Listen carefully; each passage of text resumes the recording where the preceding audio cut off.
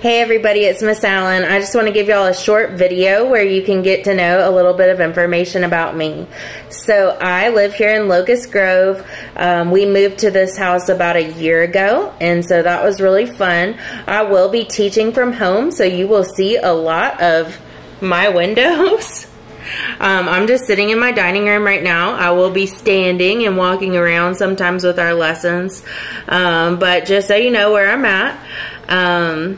I love living in Locust Grove. Before that, we lived in Covington and I worked in Rockdale County. So I worked out there for a while. I've taught second grade, fourth grade, and fifth grade. And now, obviously, I'm still in fifth grade. Um, I have a daughter and a son and a husband. My husband's name is Mr. Allen. My daughter's name is Kylie. She's three years old. And then my son's name is Matthew and he is six. And he is in Miss Glaze's first grade class here at UGE. Um, Let's see, I love to do little projects like art projects, cooking projects, baking, love taking food pics and posting them on Instagram. Um, I just like that kind of thing. I think it's fun.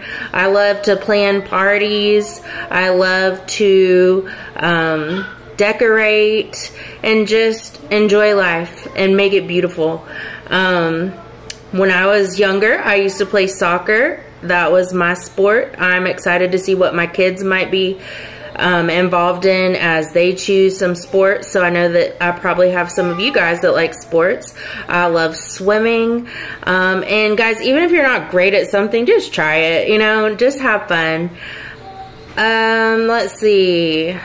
I went to Georgia State University when I was younger and got my bachelor's and master's degrees from them. And other than that, I think that's really about it for me. It's nice meeting you.